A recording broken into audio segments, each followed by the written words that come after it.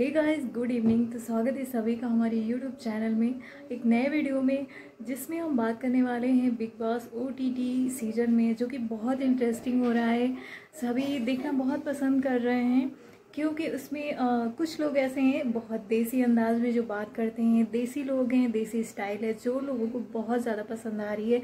शहर के लोग भी बहुत ज़्यादा पसंद कर रहे हैं। मतलब जिनको हैबिट नहीं थी वो भी तो इस बार का जो बिग बॉस है, वो सभी लोग बहुत ज़्यादा पसंद करते हैं। लड़के, बच्चे छोटे छोटे और लेडीज़ आंटियाँ, सभी बहुत इंटरेस्टिंग बनाने का जो क्रेडिट होता है, वो सारा का सारा जाता है शिवानी कुमारी को। तो बहुत बहुत ही मतलब अच्छी बात है, खुशी की बात है कि शिवानी को लोग इतना ज़्यादा सपोर्ट कर रहे हैं। और सबसे ज़्यादा उसको सपोर्ट जो है वो गाँव से ही मिल रही है। गाँव के लोग उससे बहुत ज़्यादा प्यार दे रहे हैं, बहुत सपोर्ट कर रहे हैं और चाहते भी हैं कि शिवानी जो है विनर बने इस बार सीज़न की। वो मतलब चीज़ एक सेलिब्रिटी लाइक बन गई है तो उस से बहुत ज़्यादा लोग इंस्पायर हो रहे हैं मोटिवेट हो रहे हैं तो ये बहुत अच्छी चीज़ है। और हम लोग भी सभी चाहते हैं कि शिवानी विनर बने। और उसे हमारे यूपी का नाम होगा।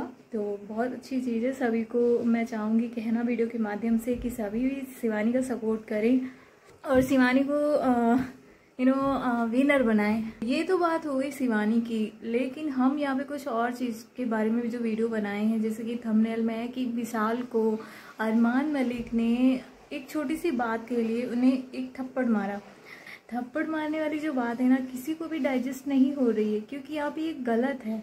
विशाल सच में थोड़ा सा इनोसेंट है, मुझे लगता है ऐसा।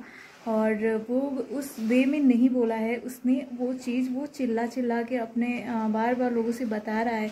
लेकिन इस चीज़ को कोई भी मानने के लिए तैयार नहीं है, कोई भी एक्सेप्ट नहीं कर रहा है इस चीज़ को कि सच में उसने उस वे में नहीं बोला है। सारे लोग, घर के लोगों ने बोल दिया कि मेरा कोई होता अपना तो ऐसे ही बोलता, हाथ उठ जाता। इतनी छोटी सी बात के लिए हाथ तो उठ जाता।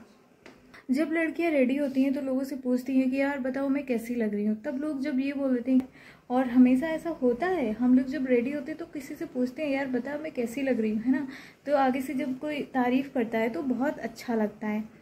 तो इसमें उन्होंने ऐसी कोई बात नहीं बोली थी जो उनको बुरी लग जाती।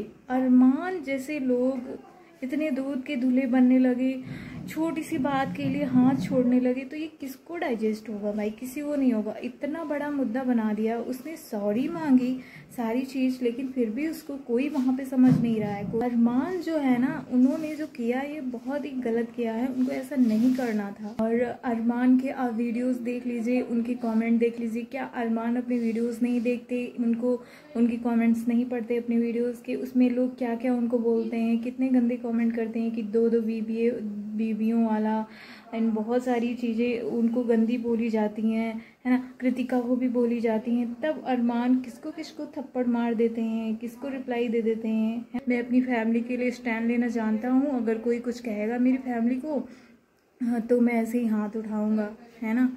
तो ये दूसरों को कह रहा है कि तू विशाल को ये कह रहा है कि तूने आज मेरे घर वालों को बोला और दूसरों को भर रहा है उसका रहा है कि आज मेरे घर वालों को बोला, कल तेरी घर वालों को बोलेगा। गई वहाँ की जो भी लेडी है भाई, वो मान भी गई और कहने भी लगी हाँ सही है, हाथ उठ जाता, सबका उठ जाता हाथ। ओ छो, बहुत अच्छी बात है। छोटी सी बात के लिए हाथ उठता है क्या कोई?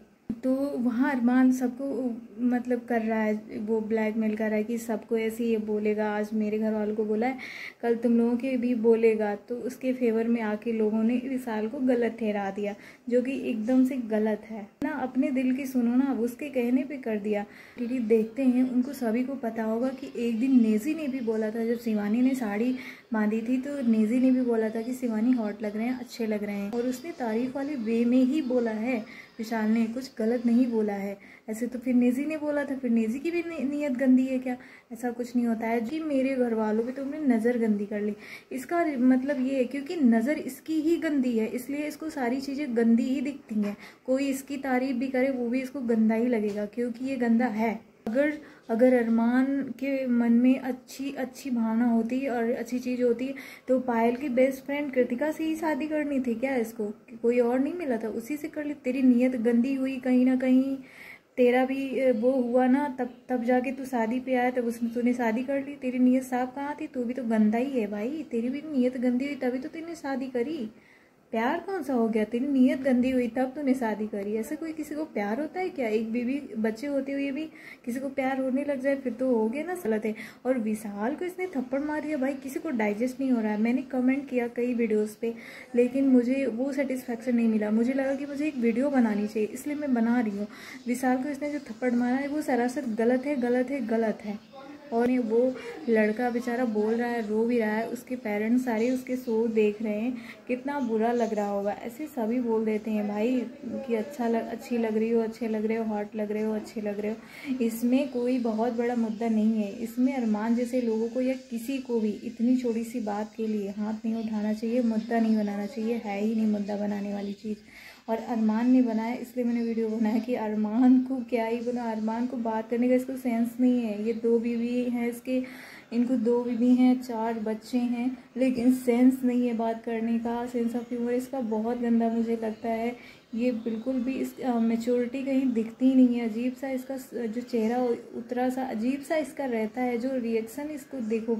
एक दिन आए थे अनिल कपूर जी तो उन्होंने कुछ बोला कि आप नॉमिनेट किए जा रहे हो, इस हिसाब से उन, उसकी गलतियों को मानते हुए उन्होंने बोला है ना, शिवानी को बोला कि पूरी बात सुनने की शक्ति रखा कर दोगली बोला शिवानी को, बताओ। कितना नौटंकी ये आदमी लगता है मुझे, सच में एकदम फेक लगता है आदमी ये, अरमान, बहुत ज़्यादा फेक लगता है ये। कि, क्यों बुलाया? शिवानी सही कहती है कि एक घर से तीन तीन लोगों को बुला लिया, सही में है पायल को वहाँ रहना चाहिए था, कृतिका और अरमान को निकलना चाहिए था। पर हो गया उल्टा। निकल गई वो बेचारी। वो इन दोनों से काफ़ी हद तक सही लेडी है वो। अब अलग बात है ये कि शादी उसने करवाई है, उसकी बहुत बड़ी मजबूरी है। इस चीज़ को हर लेडी समझती है कि वो बहुत मजबूर रही होगी बेचारी। तब जाके उसने स्टैंड लिया कि हाँ ये शादी करवा दी जाए, क्योंकि उसने अपने फैमिली के अगेंस्ट जाकर के शादी करी ना। इसलिए वो मजबूर होकर के उसने इसके साथ में रहना एक्सेप्ट किया। नहीं तो कोई भी औरत नहीं चाहेगी पायल से कोई भी शिकायत किसी को भी नहीं है और उसको सपोर्ट भी है सभी का। तो पायल एक अच्छी लेडी है, ये तो बिल्कुल नो डाउट उसमें।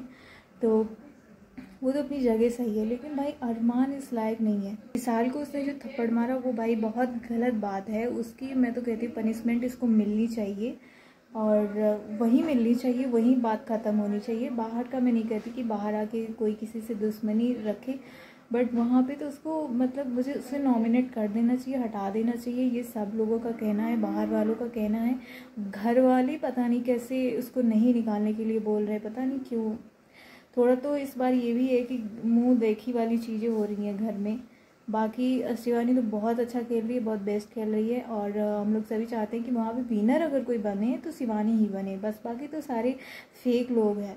ट्रॉफी की हकदार जो है वो शिवानी है और शिवानी से मैं कहना चाहूँगी कि ऑल द बेस्ट बहुत अच्छा खेली बहुत अच्छी, बहुत इंटरटेनिंग है वो. बॉस के बारे में अगर कोई भी आपको वीडियोस देखना है तो प्लीज़ चैनल को सब्सक्राइब करना मिलते हैं नेक्स्ट वीडियो में. Take care and bye